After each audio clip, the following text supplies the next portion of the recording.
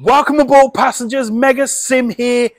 We're on the next episode for the Midland Mainline route, coming soon to Train Sim World by Skyhook Games. This is East Midlands Parkway. Cue the intro.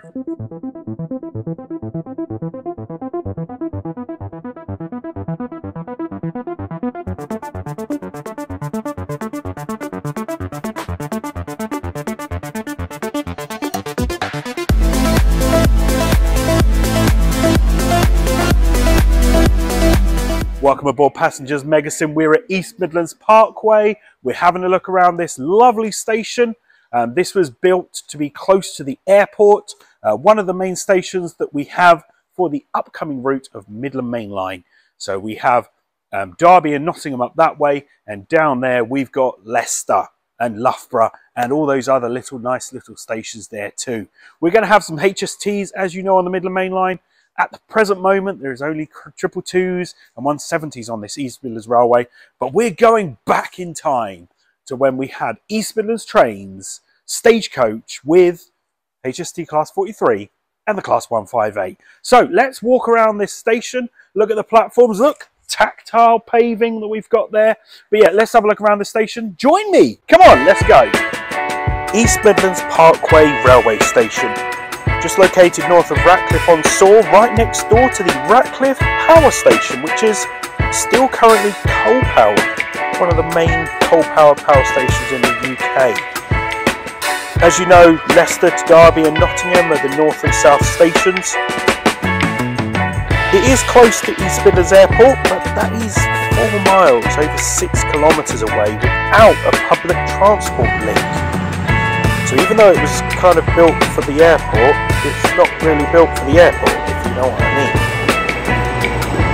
Now there was a little shuttle bus that did go from the station to the airport, but it didn't get used, so that pretty much stopped not long afterwards.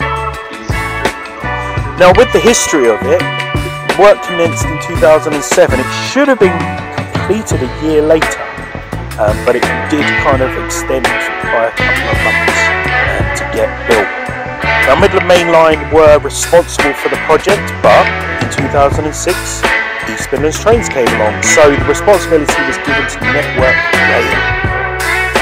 The controversy with this station is that Loughborough and the people in nearby towns voiced their concerns that opening the station would reduce services and trains stopping there and in other locations.